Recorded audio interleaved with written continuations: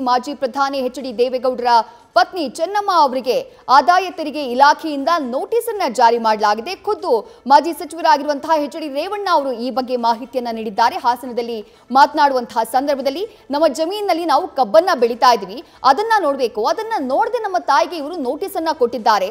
R T ನಲ್ಲಿ ನೂರಾರು ಕೋಟಿ ಲೂಟಿ ಹೊಡೆಯಲಾಗ್ತಾ ಇದೆ. ಅವ್ರಿಗೆ ಯಾಕೆ ನೋಟಿಸ್ ಕೊಡುವುದಿಲ್ಲ ಅನ್ನುವಂತಹ ಪ್ರಶ್ನೆಯನ್ನ ಮಾಡಿದ್ದಾರೆ.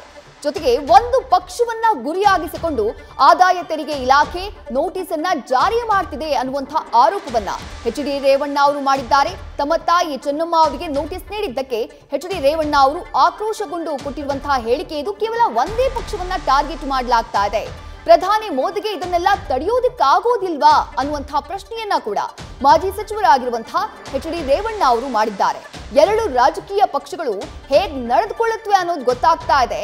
ಯಾವ ಕಾರಣಕ್ಕಾಗಿ ನೋಟಿಸ್ ಬಂತು, ಹೇಗ್ ನೋಟಿಸ್ ಬಂತು, ಎಲ್ಲವೂ ಕೂಡ ನಮಗೆ ಅರ್ಥ ಆಗ್ತಾ ಇದೆ. ನಮ್ಮನ್ನ ಟಾರ್ಗೆಟ್ ಮಾಡ್ಲಾಗ್ತಾ ಇದೆ. ಒಂದು ಪಕ್ಷವನ್ನ ಟಾರ್ಗೆಟ್ ಮಾಡಿ ನೋಟಿಸ್ ಅನ್ನ ಜಾರಿ ಮಾಡ್ಲಾಗ್ತಾ ಇದೆ ಅಂತ ಹೇಳಿ ಕೇಂದ್ರ ಸರ್ಕಾರದ ವಿರುದ್ಧವೂ ಕಿಡಿಕಾರಿದ್ದಾರೆ. H D Revanna. ನೀವು ಏಕೆ ನಾವು ಹೇಳಕ್ ಹೋದ್ರೆ ಕಬ್ಬು ಇಷ್ಟು ಎಕರೆ ಬೆಳೆದವರ ರೇವಣ್ಣವರು ಅಂತಾರೆ. ಅವರೇ ಹೋಗಿ ಡ್ರೋನ್ ಸರ್ವೆ ಮಾಡಲಿ. ನಾ ಡಿ ಹೇಳಿ, ಇಲ್ಲೇ ದೊಡ್ಡಪುರದ ಹತ್ರ ಅಲ್ಲೂ ಐತೆ ಕೊಡಲಿ ಐತೆ. ಏನು ನಾನೇನು ಹೊಸ್ದಾಗಿ ಆಸ್ತಿ ಮಾಡಕ್ಕೆ ಹೋಗಿಲ್ಲ.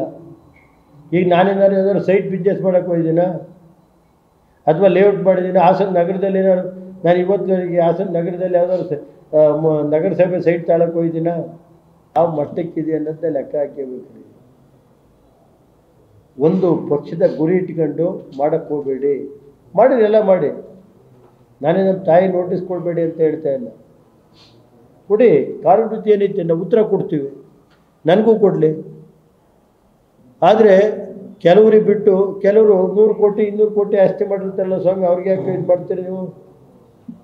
ಅವ್ರೇನು ಮಾಡ್ತಾರೆ? ಕೆಲವು ಈಗ ಇದು ರಿಟೈರ್ಡ್ ತಗೋತಾರೆ ಎಲೆಕ್ಷನ್ ಬಂದಿರ್ತಾರೆ. ರಿಟೈರ್ಡ್ ಹತ್ತು ಕೋಟಿ, ಇಪ್ಪತ್ತು ಕೋಟಿ, ಮೂವತ್ತು ಕೋಟಿ ಖರ್ಚು ಮಾಡ್ತೀವಿ. ಒಂದು ಓಟ್ಗೆ ಐದು ಸಾವಿರ, ಹತ್ತು ಸಾವಿರ ಅಂತಾರಪ್ಪ. ಹಾಂ? ಯಾರು ದುಡ್ಡಿದು? ಪಾಪ ಮೋದಿಯರಿಗೆ ತಡೆಯೋಕ್ಕಲ್ವಾ ಎರಡು ರಾಷ್ಟ್ರೀಯ ಪಕ್ಷಗಳು ಯಾವ ರೀತಿ ನಡ್ಕೊತಾವೆ ಅನ್ನೋದು ಹೇಳ್ಬೇಕಾಯ್ತು ಅಷ್ಟೇ. ನಾನು ಹೇಳೋದು ಅದೇನಾದ್ರು ಇಟ್ಕೊಂಡಿಲ್ಲ ನಾವು ನೋಟಿಸ್ ಪಾಟಿಸ್ ಎಲ್ಲ ತಲೆ ಕೆಡಿಸ್ಕೊಳಕ್ಕೆ ಹೋಗಲ್ಲ. ಮತ್ತಷ್ಟು ಡೀಟೇಲ್ಸ್ ನಮ್ಮ ಪ್ರತಿನಿಧಿ ಕಿರಣ್ ನೀಡ್ತಾ ಹೋಗ್ತಾರೆ. ಕಿರಣ್, ನೇರವಾಗಿ ಕೇಂದ್ರ ಸರ್ಕಾರದ ವಿರುದ್ಧ ಎಚ್ ಡಿ ರೇವಣ್ಣ ಆಕ್ರೋಶವನ್ನ ವ್ಯಕ್ತಪಡಿಸಿದ್ದಾರೆ. ಮೋದಿಗೆ ಇದನ್ನೆಲ್ಲ ತಡೆಯೋದಕ್ಕಾಗ್ಲಿಲ್ವಾ ಅನ್ನುವಂತಹ ಪ್ರಶ್ನೆಯನ್ನ ಕೂಡ ಮಾಡಿದ್ದಾರೆ. ಜೊತೆಗೆ ಒಂದು ಪಕ್ಷವನ್ನ ಟಾರ್ಗೆಟ್ ಮಾಡಿ ನೋಟಿಸ್ ಅನ್ನ ನೀಡಲಾಗ್ತಾ ಇದೆ ಅನ್ನುವಂಥದ್ದು ಅವರ ಆಕ್ರೋಶ. ಡೀಟೇಲ್ ಆಗಿ ಹೇಳ್ಬಹುದಾ ಕಿರಣ್? ವಿದ್ಯಾ ಏನು? ಕೇಂದ್ರ ಮತ್ತೆ ರಾಜ್ಯ ಸರ್ಕಾರ. ರಾಜ್ಯದಲ್ಲಿ ರಾಜ್ಯ ಸರ್ಕಾರ. ಏನ್ ಬಿಜೆಪಿ ನೇತೃತ್ವ ರಾಜ್ಯ ಸರ್ಕಾರ ಇದೆ? ರಾಜ್ಯ ಸರ್ಕಾರದ ವಿರುದ್ಧ ನೇರವಾಗಿ ಮಾಜಿ ಸಚಿವ ರೇವಣ್ಣ ಹರಿಯಾಯ್ದು ಅಂತಾನೆ ಹೇಳ್ಬೋದು. ಏನು ಉನ್ನತ ಶಿಕ್ಷಣ ಸಚಿವ? ಅವ್ರ ವಿರುದ್ಧನೂ ಅಷ್ಟೇ. ಉನ್ನತ ಶಿಕ್ಷಣ ಸಚಿವರ ವಿರುದ್ಧನೂ ಏಕವಚನದಲ್ಲಿ ಅವ್ರ ಎಂತ ಮಂತ್ರಿ ಅವ್ರ ಬಗ್ಗೆ ಏನು ಅಂದ್ರೆ ಬಸವರಾಜ್ ಬೊಮ್ಮಾಯ ಸಮೇತ ನಾನು ಸಾಕಷ್ಟು ಬಾರಿ ಮಾತಾಡಿದ್ದೀನಿ.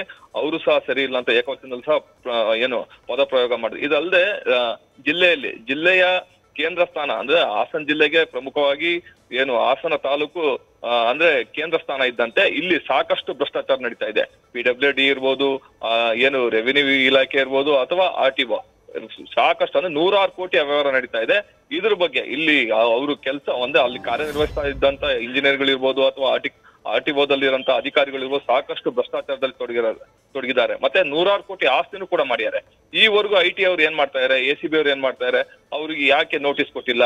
ನನಗೆ ಅಂದ್ರೆ ನನ್ನ ತಾಯಿಗೆ ಯಾಕೆ ಯಾವ ಯಾವ ಕಾರಣಕ್ಕೋಸ್ಕರ ನೋಟಿಸ್ ಕೊಟ್ರು ಅಂತ ಸಹ ಅರಿಯಾಯ್ದು ಈ ಸಂಬಂಧಪಟ್ಟಂತೆ ಈಗಾಗ್ಲೇ ನಾನು ಸಿಎಂ ಬಸವರಾಜ್ ಬೊಮ್ಮಾಯಿ ಅವರೊಂದಿಗೆ ಸಹ ಮಾತನಾಡಿದ್ದೇನೆ. ಮುಂದಿನ ದಿನ ಅವರು ಯಾವ ರೀತಿ ಕ್ರಮ ಕೈಗೊಳ್ತಾರೆ ನೋಡ್ತೀನಿ. ಇಲ್ಲವಾದ್ರೆ ಮುಂದಿನ ದಿನಗಳಲ್ಲಿ ನಾನು ಉಗ್ರವಾದ ಹೋರಾಟ ಮಾಡ್ತೀನಿ. ನಾನು ಏನು ಅಂತ ತೋರಿಸ್ತೀನಿ ಅಂತ ಸಹ ಸರ್ಕಾರ ಮತ್ತೆ ಇಲ್ಲಿ ಜಿಲ್ಲಾಡಳಿತ ವಿರುದ್ಧ ಅರಿಯಾಯಿತು ಮತ್ತೆ ಈ ಇದೆಲ್ಲ ಅಂದ್ರೆ ಇಲ್ಲಿ ಆಗ್ತಾ ಬೆಳವಣಿಗೆ ಸಂಪೂರ್ಣವಾಗಿ ನಾನು ಜಿಲ್ಲಾಧಿಕಾರಿಗಳೊಂದಿಗೂ ಸಹ ಚರ್ಚೆ ಮಾಡಿದ್ದೀನಿ. ಅವರು ಮುಂದಿನ ದಿನದಲ್ಲಿ ಯಾವ ರೀತಿ ಕ್ರಮ ಕೈಗೊಳ್ತಾರೆ ಅದನ್ನು ಸಹ ನಾನು ಕಾದ್ ನೋಡ್ತೀನಿ ಅಂತ ಸಹ ಹೇಳಿದ್ರು ವಿದ್ಯಾ. ಕಿರಣ್ ಎಚ್ ಡಿ ರೇವಣ್ಣ ಅವರ ಮಾತಿನ ಅರ್ಥ ಹಾಗಾದ್ರೆ ಏನು? ನೇರವಾಗಿ ಅವರನ್ನೇ ಟಾರ್ಗೆಟ್ ಮಾಡಲಾಗ್ತಾ ಇದೆ ಅನ್ನುವಂಥದ್ದು ಅವರ ಆಕ್ರೋಶಕ್ಕೆ ಕಾರಣ ಆಗಿದೆಯಾ ಹೇಗೆ? ಹೇಳಿ ಕೇಳಿ, ಏನು, ಹಿಂದೆ ಏನು ಬಿಜೆ ಏನು ಜೆಡಿಎಸ್ ಮತ್ತು ಕಾಂಗ್ರೆಸ್ ನೇತೃತ್ವದ ಸರ್ಕಾರ ಇತ್ತು. ಆಗ ಹಾಸನದಲ್ಲಿ ಉಸ್ತುವಾರಿ ಸಚಿವರಾಗಿ ರೇವಣ್ಣ ಸಾಯಿದ್ರು ನಂತರ ಬದಲಾದ ರಾಜಕೀಯ ಪರಿಸ್ಥಿತಿಯಲ್ಲಿ ಈಗ ಏನು ಹಾಸನದಲ್ಲಿ ಸಾಕಷ್ಟು ಕಾಮಗಾರಿಗಳು ಏನು ಅನುದಾನ ಕೊಟ್ಟಿದ್ರು ರೇವಣ್ಣವರು ಅದೆಲ್ಲ ನಿಂತೋಗಿರೋಂಥದ್ದು ಅದಕ್ಕೆ ಸಂಬಂಧಪಟ್ಟಂತೆ ನಂತರ ಪ್ರತ್ಯಕ್ಷವಾಗಿ ಪರೋಕ್ಷವಾಗಿ ಹಾಸನದಲ್ಲಿ ಯಾವುದೇ ರೀತಿ ಕಾಮಗಾರಿ ಆಗ್ತಾ ಇಲ್ಲ. ನಾವಿದ್ದಾಗ, ಅಂದ್ರೆ ನಮ್ಮ ಸರ್ಕಾರ ಇದ್ದಾಗ ಕುಮಾರಸ್ವಾಮಿ ಅವರು ಸರ್ಕಾರ ಇದ್ದಾಗ ಸಾಕಷ್ಟು ಅನುದಾನಗಳನ್ನು ಕೊಟ್ಟಿದ್ವಿ. ಆದ್ರೆ ಆ ನಾವು ಏನೇನು ಅನುದಾನ ಕೊಟ್ಟಿದ್ ಅದನ್ನ ಅದನ್ನ ಅಷ್ಟನ್ನು ಸಹ ತಡೆ ಹಿಡಿಯಲಾಗಿದೆ. ಅಂದ್ರೆ ಬಿಜೆಪಿ ಸರ್ಕಾರ ಯಾವಾಗ ಬಂತು ಅದನ್ನ ಅಷ್ಟನ್ನು ಸಹ ತಡೆ ಹಿಡಿಯಲಾಗಿದೆ. ಅಂದ್ರೆ ಈ ರೀತಿ ಯಾವ ಯಾವ ಕಾರಣಕ್ಕೋಸ್ಕರ ಮಾಡ್ತಾರೆ ದೇಶದ ರಾಜಕಾರಣ ಬಿಜೆಪಿಯವರು ದೇಶದ ರಾಜಕಾರಣ ಮಾಡ್ತಾ ಇದ್ರೆ ಇದು ಅಂದ್ರೆ ಮುಂದಿನ ದಿನಗಳಲ್ಲಿ ಇದು ನಡೆಯೋದಿಲ್ಲ. ಮುಂದೆ ಇದೇ ರೀತಿ ಅಂದ್ರೆ ಈಗ ಇದರಲ್ಲ ಕೆಲವು ಸಚಿವರು ಇದೇ ರೀತಿ ನಡೆಯನ್ನ ಮುಂದುವರ್ಸಿದ್ರೆ ಮುಂದೆ ಅವರು ಮೂವತ್ತು ನಲವತ್ತು ಸೀಟ್ ಬರೋದು ಗ್ಯಾರಂಟಿ ಅಂತ ಏನು ಭವಿಷ್ಯವನ್ನು ಸಹ ನೋಡಿದ್ರು ಅಂತ ಹೇಳ್ಬೋದು ವಿದ್ಯಾ. ಥ್ಯಾಂಕ್ ಯು ಕಿರಣ್ ತಮ್ಮೆಲ್ಲ ಡೀಟೇಲ್ಸ್ಗೆ ನ್ಯೂಸ್ ಫಸ್ಟ್ ಪ್ರತಿಕ್ಷಣ.